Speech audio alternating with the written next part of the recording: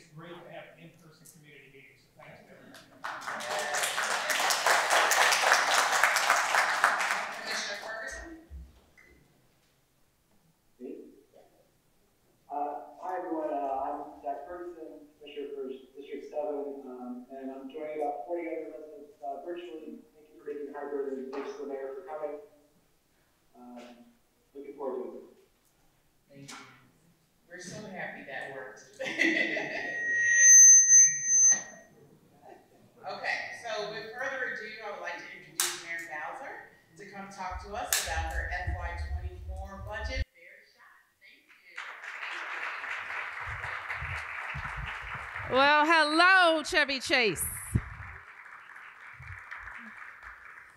As I was sitting here, as I've done many, many times before, I realized that I've represented Chevy Chase for 16 years. Uh, eight years as your council member uh, for Ward 4 for part of Chevy Chase, uh, in the last eight years as your mayor. And so it has been my great privilege to serve you. Uh, and I want to say thank you. I want to say thank you for your good ideas, for your trust, for your tough questions, uh, and for making sure that we're working together uh, as a government to make our city work for all eight wards. I also want to thank the, the commissioners present uh, and thank you for your invitation and everybody listening. And I do thank you for being in person uh, so that we can get together uh, and talk about the issues that affect our city. I also want to recognize members of my team uh, who are here. If you're a Bowser Administration representative, would you please stand?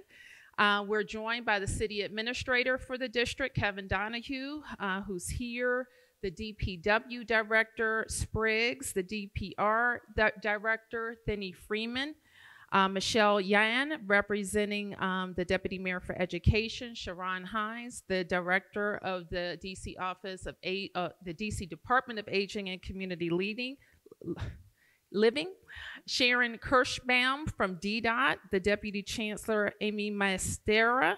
Uh, and no offense, but your MOCRs are also here. I also see Phil Thomas, the Office of the Clean City. Uh, so the Ward 3 MOCR, Matthew Barclay. The Ward 4 MOCRs, uh, Sophia Tokala and Derek Johnson. So please give them a big round of applause. So thank you, everybody, uh, for being here. Uh, so I'll say a few things because it looks like there are some questions uh, about the FY24 budget. Uh, and as you know, uh, we submitted our 28th balanced budget to the Council of the District of Columbia a few weeks ago. Uh, the council works on the budget for 70 days. They have hearings, and at the end of that time, they will approve uh, for the district a balanced budget as well.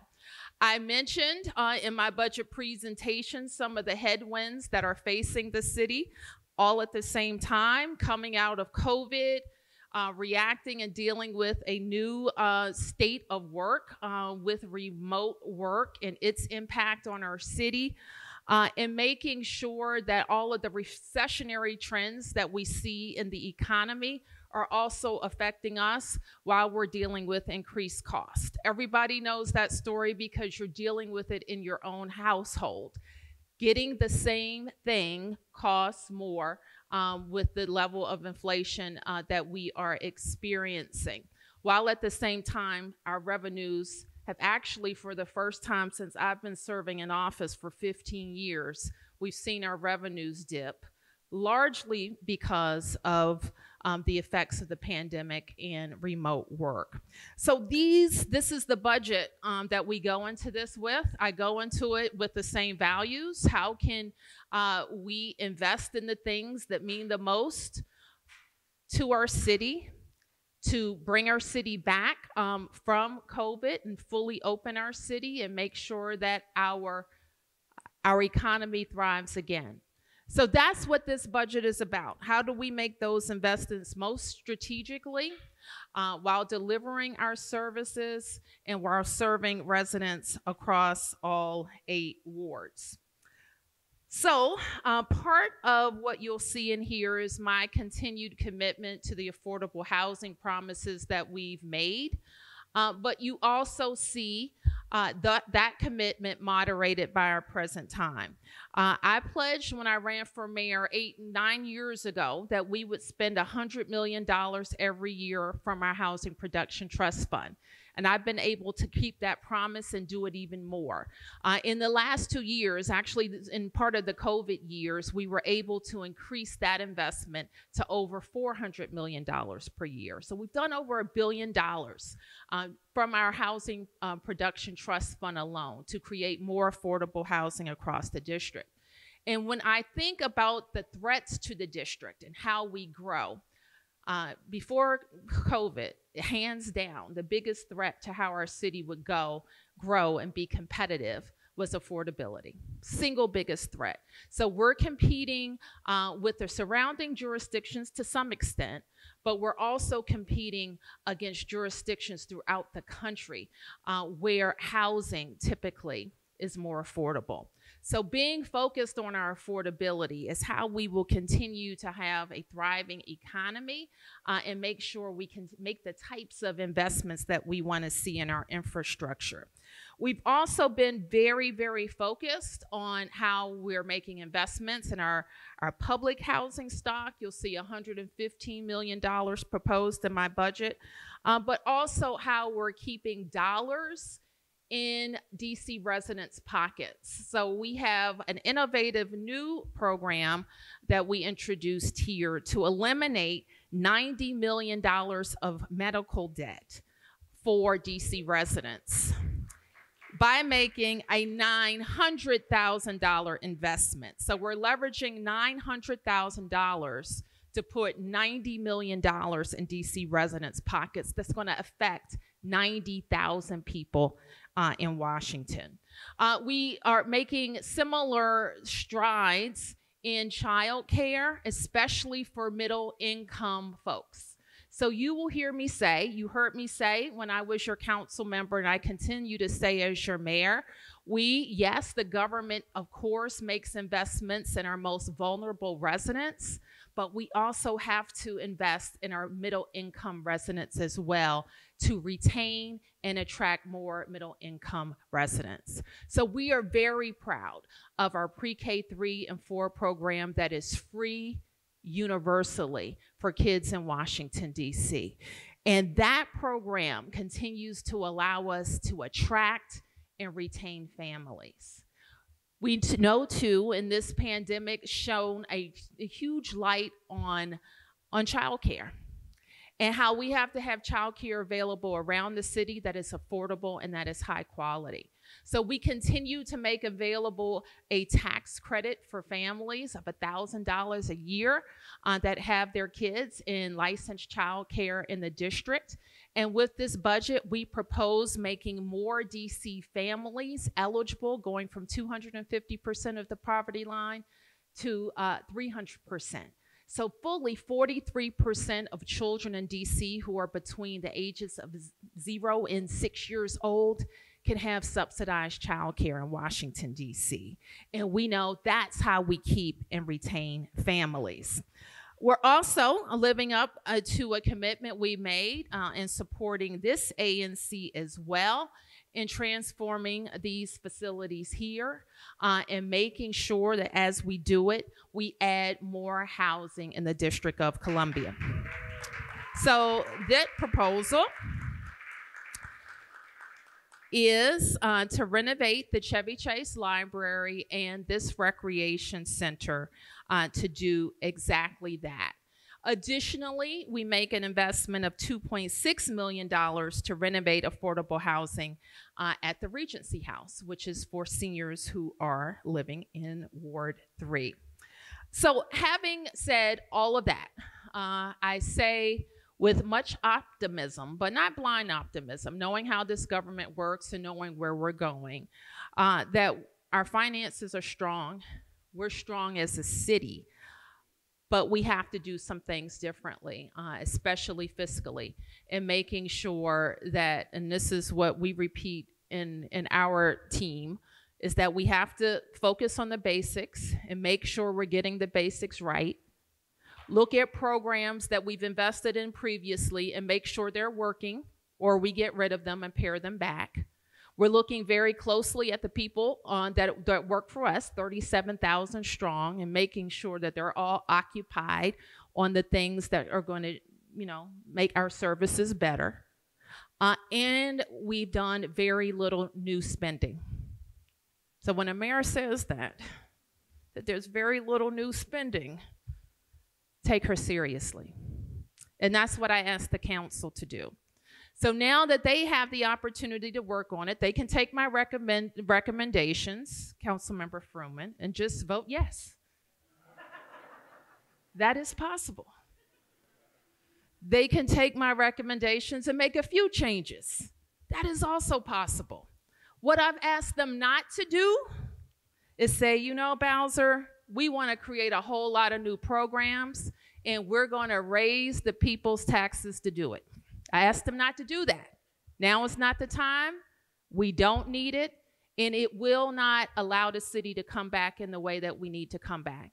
I mean that for businesses, but I especially mean it um, for DC residents and your property taxes. So that's that's what I've asked the council to do. I've also asked them to look at what we did and not create a lot of new programs. Let's focus on the programs that we've already invested in and make sure they are working for the people of the District of Columbia. Now, I'm also proud, I hope you read the news today. I know you're peeled to the Washington Post like me on some days. Uh, and we have some really good news in the public schools. Uh, first, we were the first in the region to reopen our schools to in person learning coming out of the pandemic in the entire region, and we are proud of that. And now, what we showed in this most recent lottery that people sign up for where they live, the number of people who signed up went up, I think, 5%. And the number of families that matched to their first choice was at 74%, the highest since we've been doing the lottery. So we feel very good about that. So the last thing um, that I will mention um, is our historic investment in schools over the last eight years, including this budget, uh, where we made our already um, really, really well compensated teaching staff even better compensated and supported by um, by the district. And I say that with pride for a reason, uh, because we know excellent schools. You know, they start in, in with excellent teachers and great leaders in their in the principals.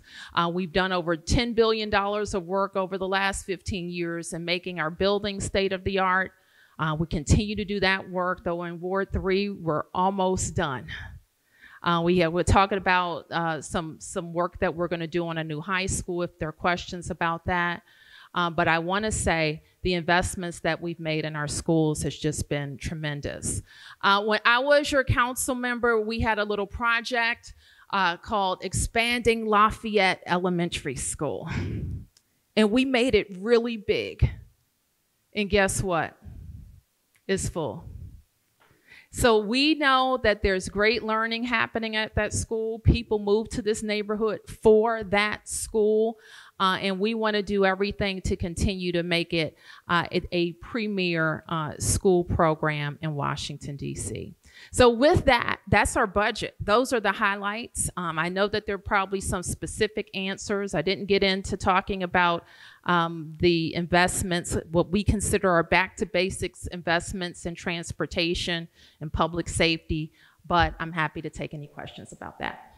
Okay. So the way we're going to structure questions is we're going to have the commissioners with just about seven minutes.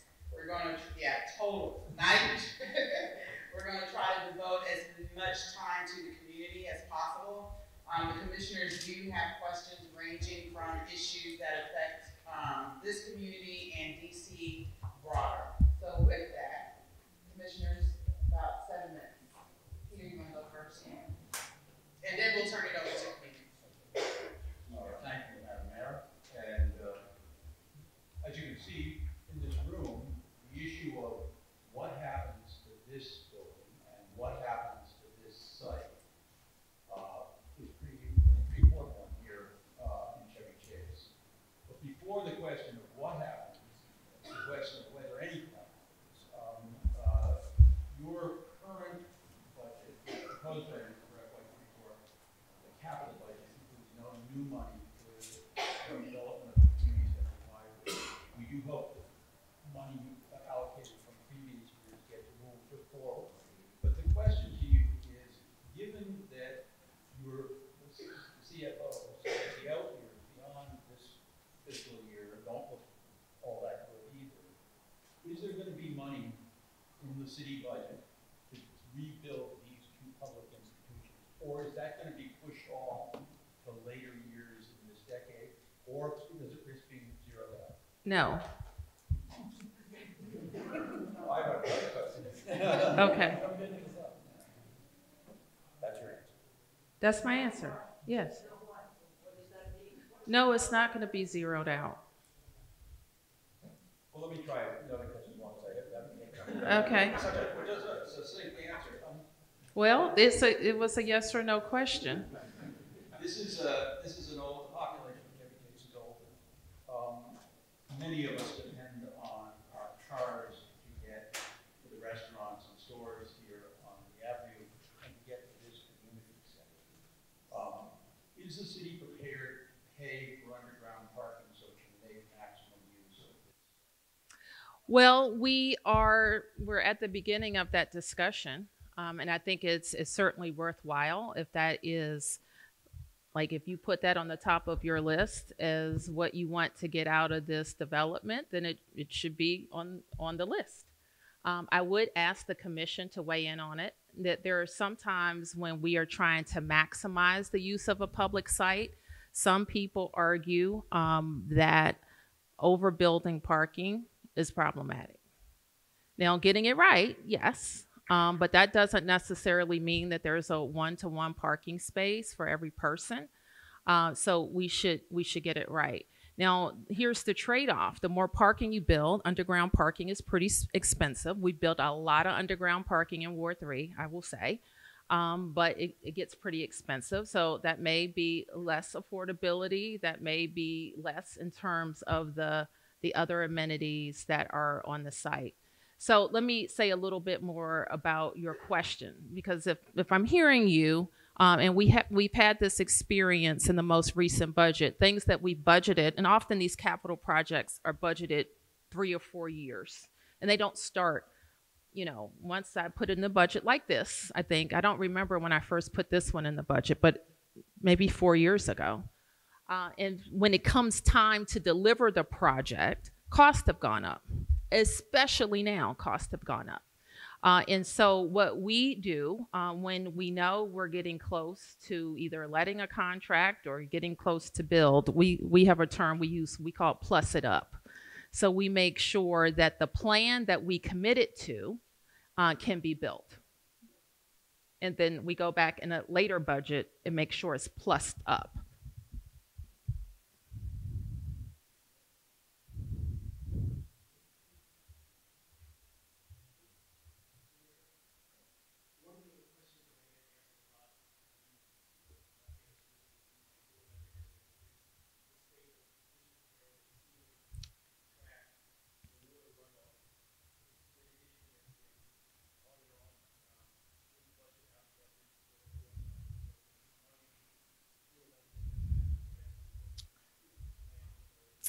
You know, Michael, I'm sorry that you all are still dealing with this. Um, it either should have been done um, when the school renovation happened or when the community center itself had happened.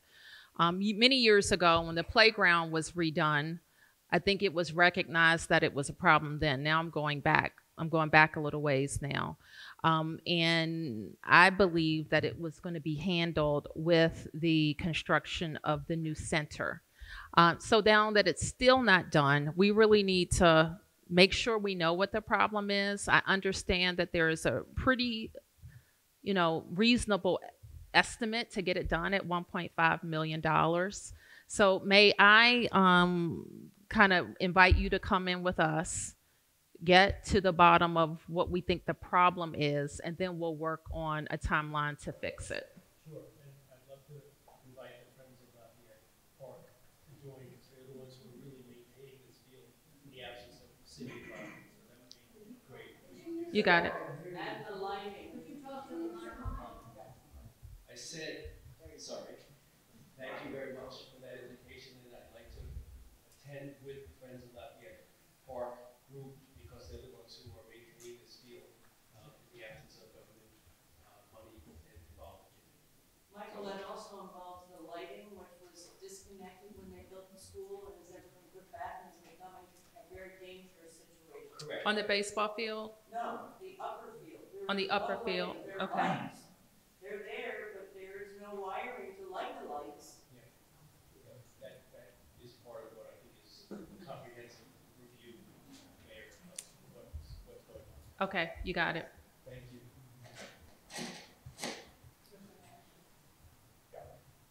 Uh, Mayor, Mayor Beltran, I want to thank you. I want to thank you, first of all, for doing more to reduce chronic homelessness in the district than any of your predecessors. Thank you. Okay. That's really important. That said, uh, the new budget uh, has some issues that the Hope Campaign has identified. I want to just touch on three of them.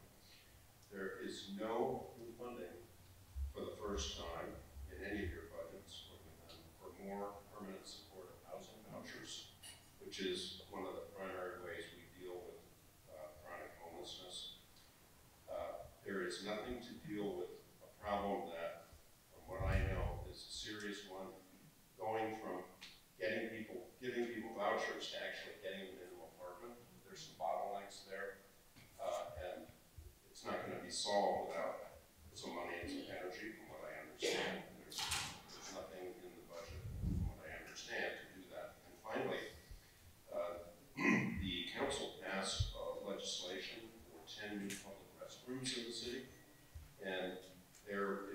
funding for any of this in your budget according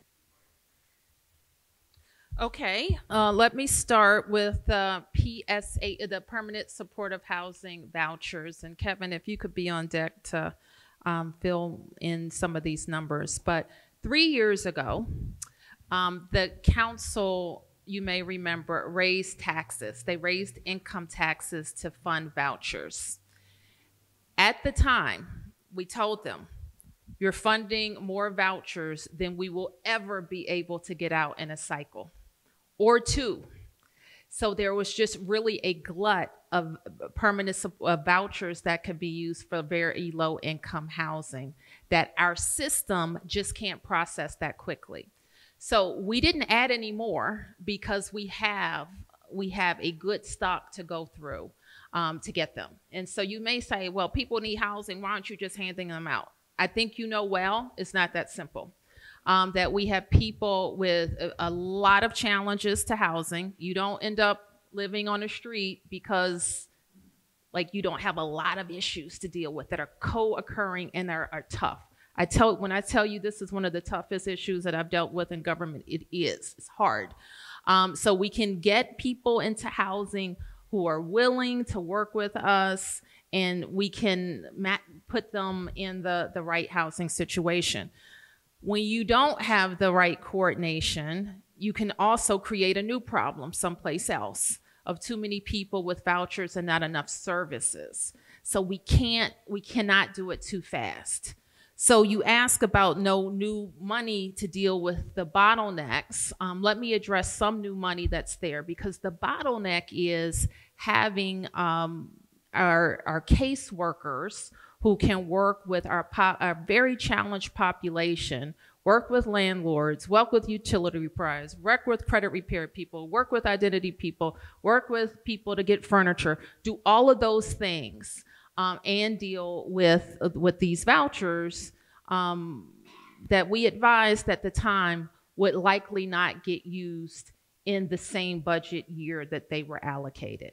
So that's why you don't see any new ones um, because we have ones that we're working with. Dealing with the hiring, uh, I am proposing in this budget $2.5 million to create a pot of incentive money uh, that we think will work like what we've done for MPD. Uh, MPD now uh, we offer $20,000 signing bonus. Uh, now 25,000 through the end of this fiscal year. Uh, in this $2.5 million pot, other agencies who have hard to fill positions will be able to create their own incentive programs. On the matter of public restrooms, I don't think this, this was one item that was new that we didn't fund. But the council has an opportunity to do it. This is what I tell the council members all the time. Like there's, a, and I was on the council, so I can say this. Uh, there, like I have a stack of what Uh, what we called what are this called when they're not funded? Subject to appropriations. So this is what you can do on your account. So. You can pass a bill. You know it costs something, but you identify no way to pay for it. So it's the law, but it's subject to become the law when it's appropriated. So there's many things that I can do when in my proposal, but the, they can do, you know, they can fund all of their proposals when they have the budget.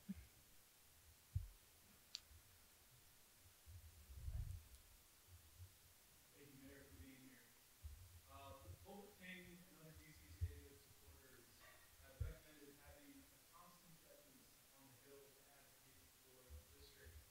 Uh, in light of the ongoing GOP congressional interference, are there enhanced budget measures to defend home rule and support DC Statehood? Um, yes. So we've had, since I have been mayor, I created an office for federal and regional affairs.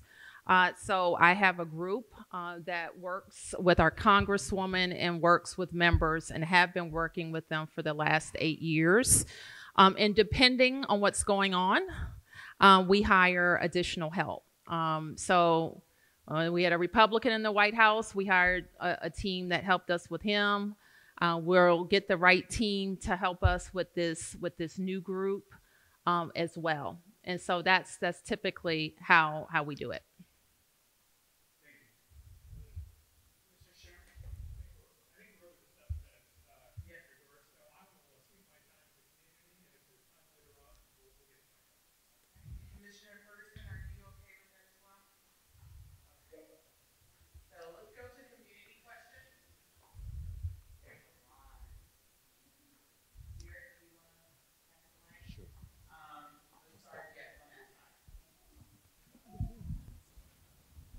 Hello? Yeah. Uh, thank, thank you, Mayor, for coming. my and uh, we really appreciate uh, DDOT's uh, Vision Zero program. Um, we've heard some uh, noises about it not being funded, but uh, up here, uh, we're really looking forward to Connecticut Avenue being safe for bicyclists. Um, I'm, I'm, I'm, I'm a, I'm, I, I'm a survivor of, of uh, hit and hit and run on a bicycle. So, safety of cyclists is um, is very important. It's as important as safety for pedestrians and for safety for uh, motorists. So, I encourage you to carry on with Vision Zero, fund it, and build those uh, uh, bike lanes on Connecticut Avenue. Okay, thank you.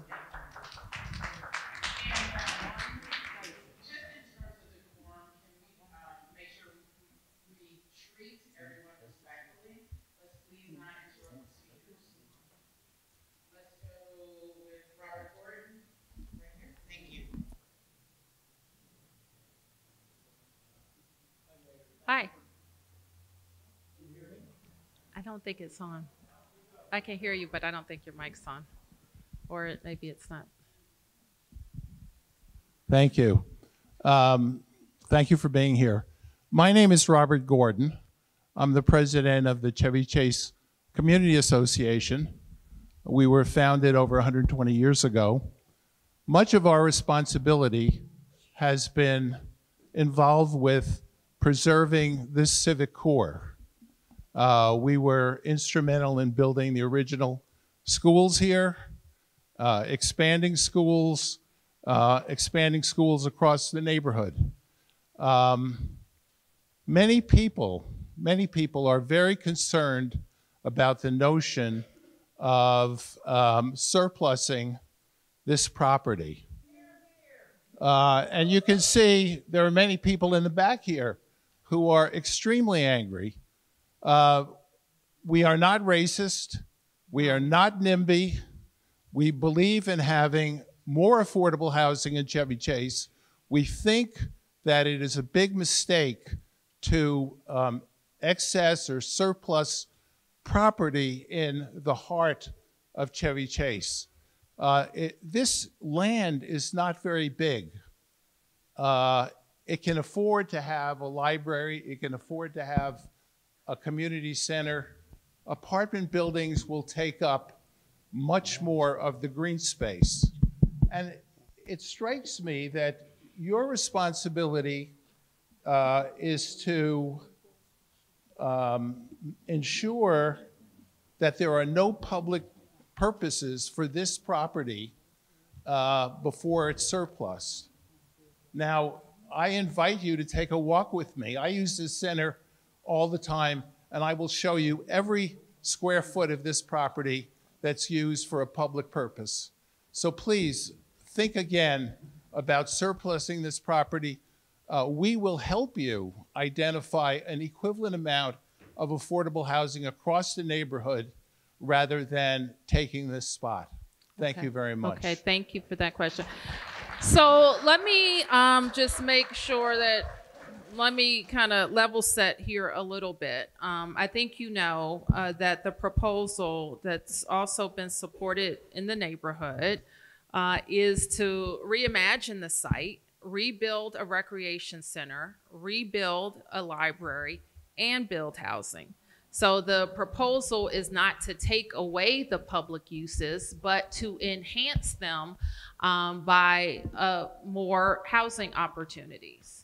So that that's I don't want to give anybody the idea that we're just taking the public uses and would not be returning um, the the public uses. The second thing I want to say is I want to talk a little bit about how that process works. It works that way for all of the district's public land, uh, except we have a process in our economic on our economic development team that we call the Our RFP. Um, which is a little bit different than some others that we do because we do all of the community engagement at the front. Um, so just as I asked the the commissioner, like what is your priority and how can we include that in the list? And if the community come back, comes back and say, yes, we want to do this, but we want to have underground parking. Then we have to think about how that works in the our RFP. So it's not that I'm writing it or my staff is writing it, but we're talking to, we want to hear what's important to you. Um, and we want to include it so that the responses that we get back are you know things that we think that you're going to be able to support at the end so that's that's how the the our rfp works and then the the the term that you're using surplusing it is we have a process that it goes to the council we'll make the argument that this is the the public this is the best and highest use of this public land and let's face it it's limited opportunities for affordability in this planning area I think it's the most limited in the entire city. Has the least number of affordable units in the entire city. Um, so we completed a pretty extensive uh, small area review planning period. Um, which was good. And actually, I had um, a, a, resident that lives in another part of the city that was pointing to the Chevy Chase plan as like the gold standard of plans. That's what she said.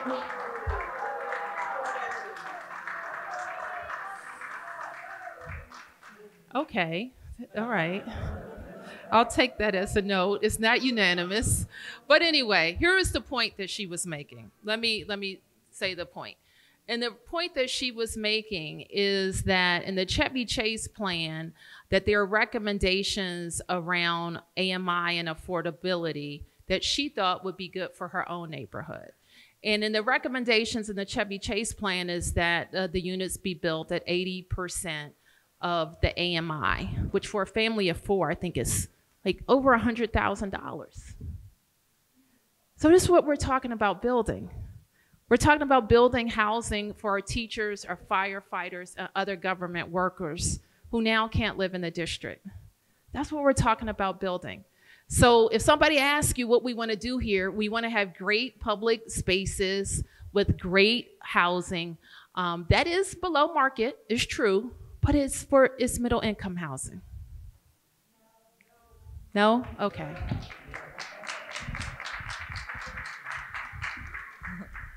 Hi, Mayor Bowser. Uh, Christine Davis. It's an honor to meet you. Nice to meet you. Um, I am actually asking a question about transportation that um, uh, is about basically not parking, but expanded met, uh, metro bus use. We we had a metro bus that was uh, serving uh, my neighborhood, which is Broad Branch Road, called the East Six. And at the beginning of the pandemic, uh, there was a notice on the East Six bus stop that it was temporarily closed because of the pandemic, which made perfect sense. Um, um, I don't know what happened. Uh, it seems like it just never came back. I don't know if it's going Yeah. to come back. I know it's not a purely DC decision, but it but it would end up, uh, you know, reducing the need for parking if if there was more expanded bus service. And in Yeah. that neighborhood, there really isn't. Right. So I'm going to acknowledge um, Deputy Mayor Babers, who's also represents us on the Metro Board. I may have a question for you, Lucinda.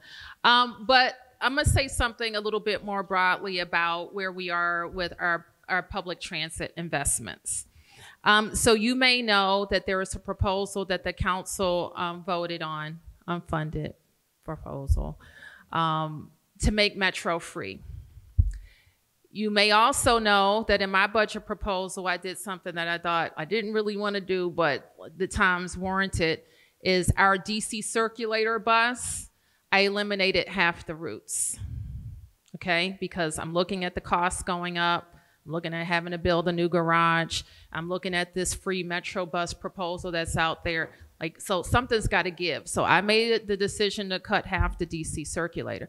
Then I'm listening to the Metro GM who sent me a text over the weekend. When can we get together over the drinks to talk about this this fiscal problem we have?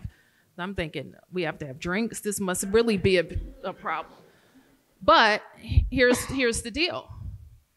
Oh, throughout the pandemic, there were huge infusions of money that came from the federal government to save transit agencies, and it went directly to them. It didn't even come through the jurisdictions; it went directly to them. That money's running out next year. And so we think that we are going to have, they are going to have a cliff of about a quarter of a billion dollars. 200, that's our, that's our portion. So actually, it's, it's almost three quarters of a billion dollars, and we pay one third. So I got this free metro proposal, which is anywhere between 75 and 100 million dollars and grows every year. And I've got like to eliminate half of our own service. And next year, I'm probably going to have a bill that's t- on top of what we already pay, which is significant, another $250 million. So that's a long way for me to say that I'm not supporting any new service because of that situation. And the routes that are underperforming routes that I have fought to keep alive for a long time, including the E6, are vulnerable. They're really vulnerable. Now, here's why I would go to bat for the E6. You've heard me say it here before. We can strand no part of the District of Columbia. And taking away the E6 really strands a portion of our city. So um, that's what we got to focus on, Lucinda and DDOT. Taking away the E6 strands like many, many parts of Chevy Chase and with no transit connection.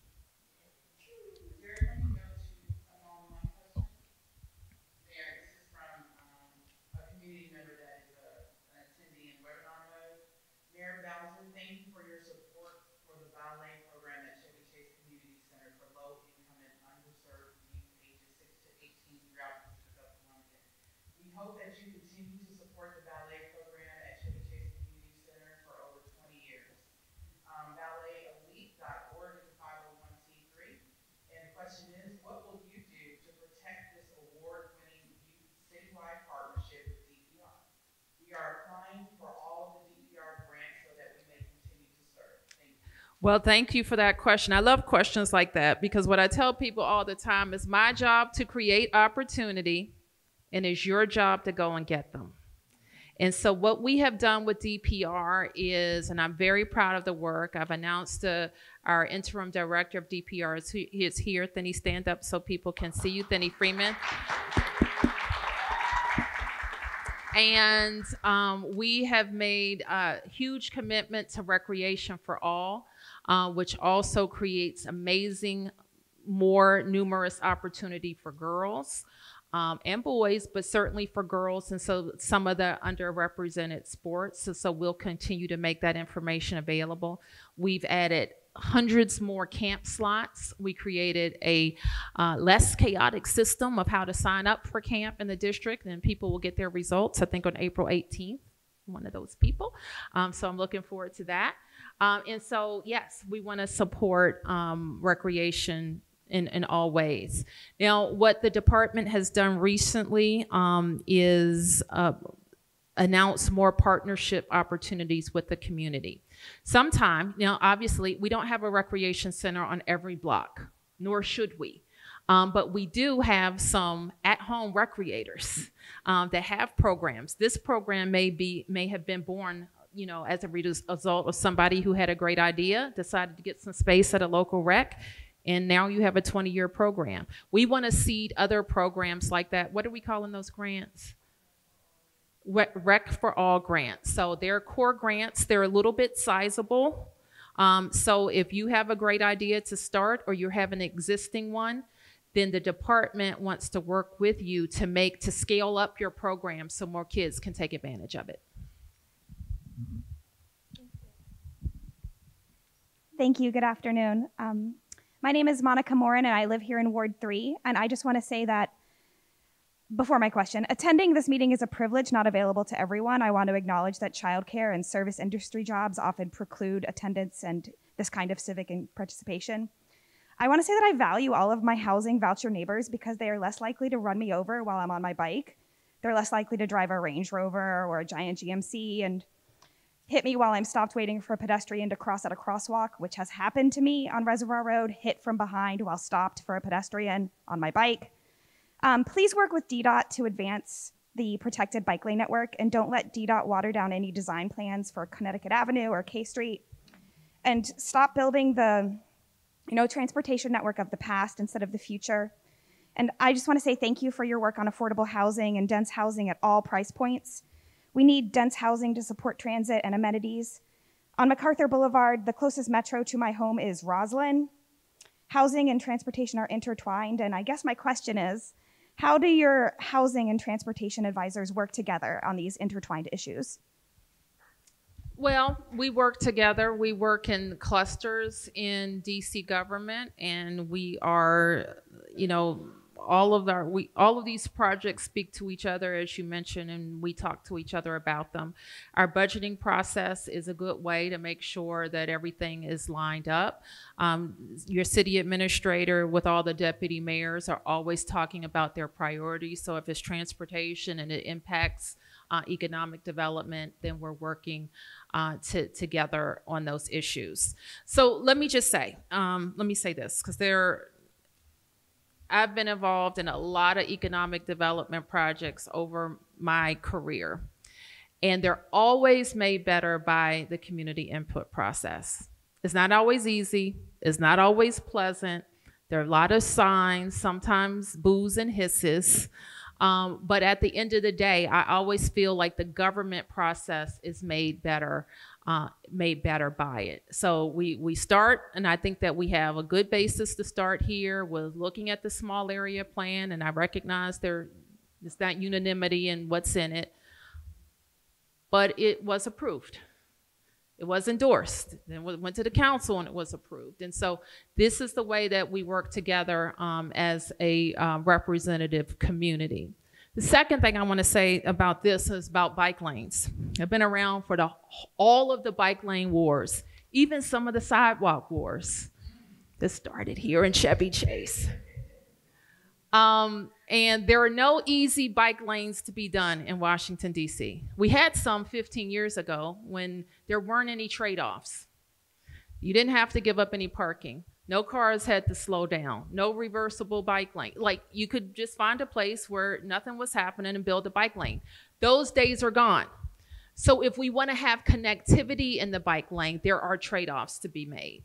Uh, and so where I ask, and you ask me if they're going to water anything down. Nobody's watering anything down, but we do have to make it make sense uh, in terms of the trade-offs. Okay, and so that's parking. That's how you get access to businesses. That's how people with mobility issues can cross the street and be safe. It's all of those things. So that's that's what my charge to the team is is to look at where we are be as we advance in this discussion, in the design discussion. And before the design gets too far, then we have been able to deal uh, with some of the trade-offs. Good evening. Uh, my name Good is. evening, Mayor my name is- Bowser. Good evening. Good evening, Mayor Bowser. Oh, sorry. I- Go ahead, ma'am. Good evening, Mayor Bowser. Good evening. I'm Gail Sonneman. I'm here representing a group, Ward 3 Housing Justice, that wants affordable housing at the WMATA Bus Garage site in Friendship Heights, both the new bus garage site to be con- developed and the current bus garage site. Two great opportunities. My question to you is, will you meet with us, yes or no? Yes. Thank you. Have you asked for a meeting? Oh, okay. I mean, I was so dramatic. Yes, I will. Good evening, Mayor Bowser. Uh, yes. a Barnaby resident, or Barnaby Woods resident here. Um, I, don't have a question, but I was uh, hoping to ask for your support for uh, something that our ANC is asking for. It's a $250,000 to fund uh, stormwater management efforts in Barnaby Woods. It is a relatively uh, small uh, line item when compared to some of the other budget initiatives, but is one that has a very high impact on the residents there. There's a network of stormwater drains that run under uh, many properties there. Um, it is that network has reached the end of its useful life and is now collapsing and is in bad need of repair and replacement. When as when those drains are collapsing or failing, it is with catastrophic impacts to some of the to some of the the our our our, our, neighbors. Uh, those those losses in the form of, of flooding are uninsured, and the residents are unable to um, make the repairs necessary individually. If I if I am suffering a loss due to a failure of the network that occurs not on my property, I'm, I'm powerless to fix it. Th- this problem is one that the residents individually are not capable of solving themselves. And um, those types of problems are, are really the reason that we have government in the first place. And so I would ask for uh, your support Which there. streets are you talking about, sir? In between Arcadia and Worthington, Okay. I'm gonna um, ask Deputy Mayor Babers and our team between DC Water and DDOT to have some follow-up with you specifically. I'm, I'm very grateful for Okay, that. Thank you. thank you.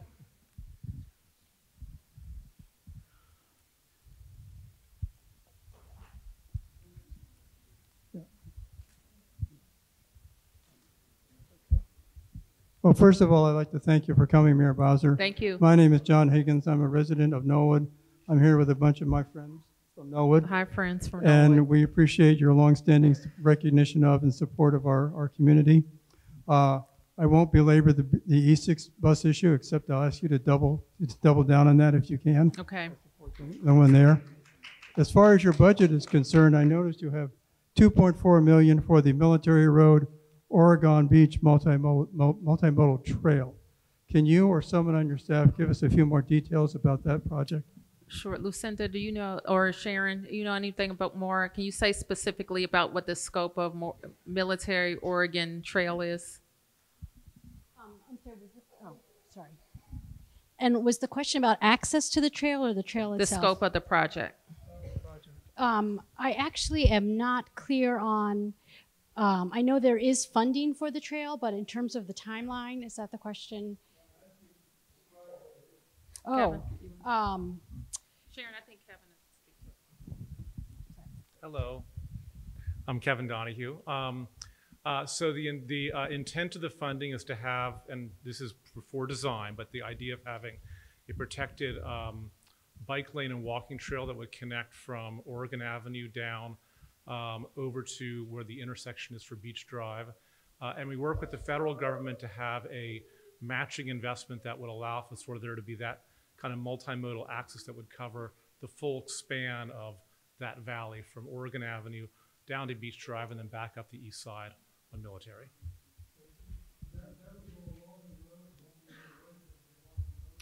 Uh, the, and again, we have not started design, but the intent is for it to be along the road because of the width of the road uh, would allow for that without necessarily impeding the flow of traffic.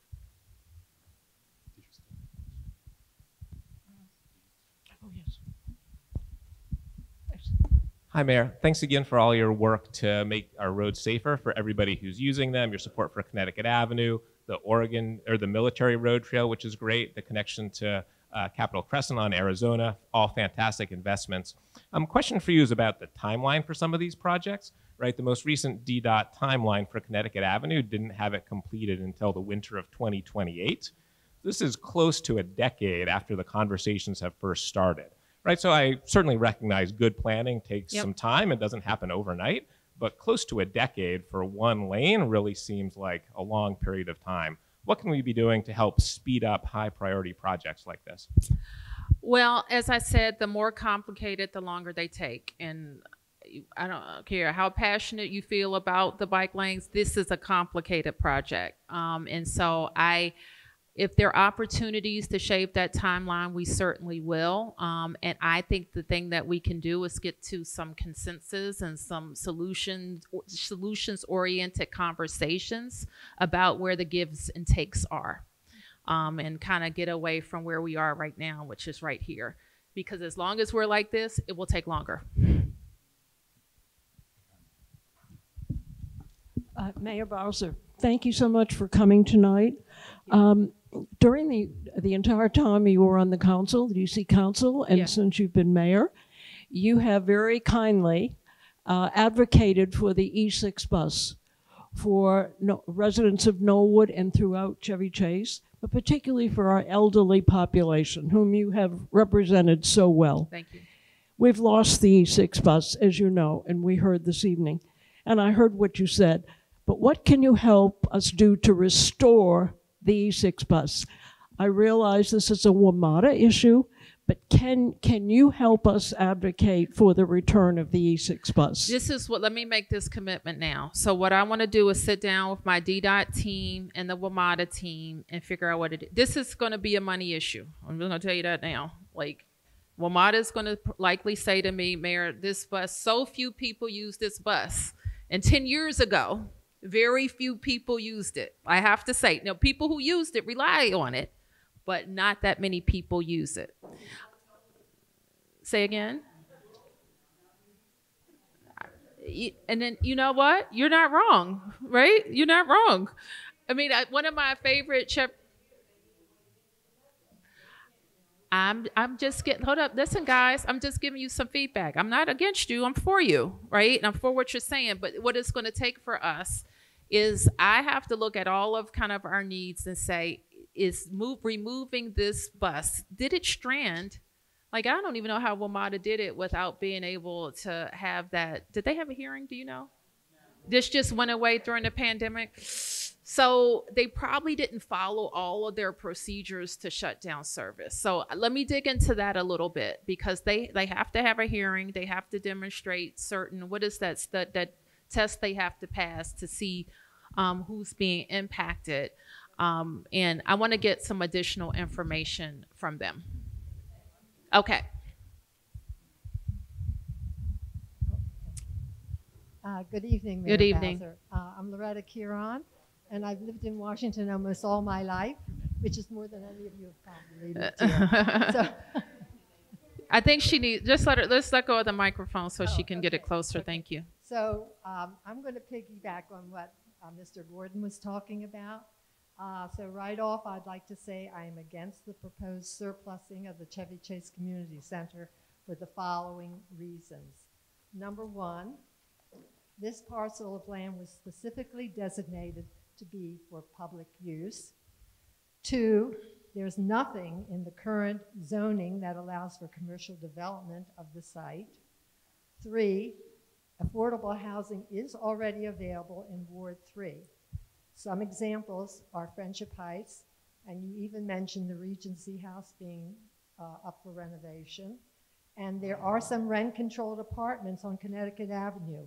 I personally knew a woman uh, who's now deceased who lived in one.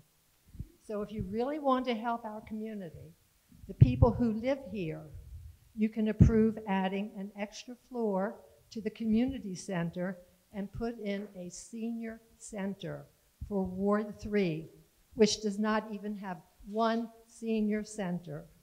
Ward 4, by contrast, has two senior centers and we'll be adding a third at the Walter Reed uh, complex. Ward 3 and Ward 4 west of the park together have more seniors than any other ward in the city, yet do not have even, as I repeat again, one senior center. With all due respect, why are we being ignored and neglected? And yes, I know about Iona House. However, as a privately run organization, it does charge for some activities and does not provide as extensive services as Hattie Holmes, which is on Kennedy Street, or Fort Stevens over there off 16th Street, uh, those centers which I have attended. As of now, our ANC has voted against surplusing this site, and the majority of people who actually live here, I believe, are against surplusing. That's the majority. I know there are some who do approve of it. Uh, finally, I hope you will take our concerns seriously and keep this parcel of land for the use of the Chevy Chase Community Center. Thank you. Thank you, ma'am. Thank you for, thank you for holding this meeting. I think that most people here probably are against surplusing if they understand surplusing this property. We're all, on the other hand, we're all for affordable housing in Ward 3 and 4. We completely agree with that and we want it. But there is no reason why the new residents moving into the Chevy Chase community should be deprived of this Chevy Chase Commons area where we all meet as a community. We should all benefit from this, new and old residents. And there are plenty of other options in this area to create affordable housing. Okay, thank you, ma'am.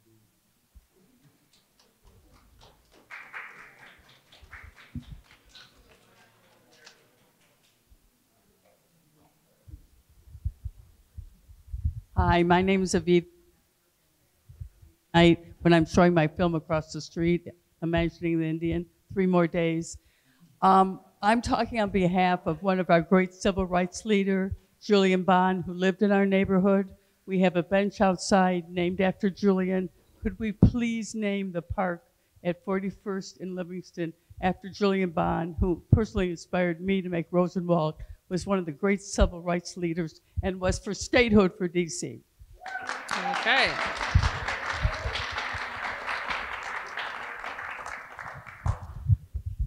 My name is Patty Myler, and I came for recreation things because I'm the vice president of Friends of Lafayette Park. But I, I want to address the Connecticut Avenue thing. I'm a sixth generation Washingtonian. I've lived in this area my whole life.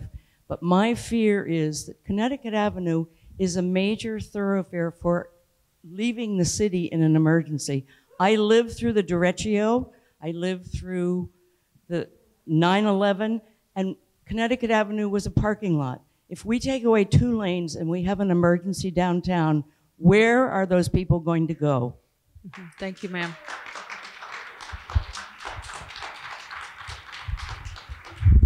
Hi, uh, my name is Corinthia Simmons. I'm here with my son. One of the things you mentioned earlier was about how Lafayette has a great school, and I just want to put this out to your administration. If we can strive for a goal to have all our public schools in DC to be as great as Lafayette, because I would like for no matter where I live in this city, that my son can go to that school and he can have a good education. He's in pre-K three. He currently attends Dorothy Heights. So I'm really excited about the new school, but I would like for us to strive because DC is a great city.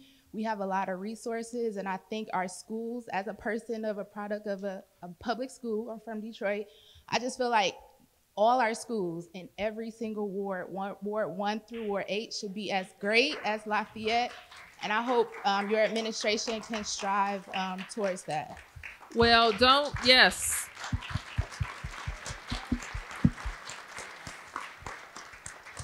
Thank you. But I don't want you to misunderstand what I said. Okay, all right. Because that is what we work to make happen every day. Uh, I just drove by your son's school that is being erected as we speak, uh, so that he'll be going into a, a, brand new building if that's where you matriculate at, at Dorothy Height. Uh, I'm also very proud of the pre-K investments um, that that we've made, and also our efforts to address Ward Three overcrowding. Um, so you will know this um, that we don't want kids to have to travel all across the city um, because that's the place that their parents think is the only place to get great school because we have great schools in all eight wards. We really do. Um, and so, but parents want to know that they have a great building, great staff, great curriculum. Their kids are safe, loved, and challenged. Um, and what we're going to do for them is going to carry them throughout um, the rest of their life. Um, and so, what I know is that folks who are in DC public schools, the parents are, you know, they rate their schools highly, having a good experience. They have the the course um, the courses and curriculum that they want. not everywhere that they want. And so that's what we have some work to do on.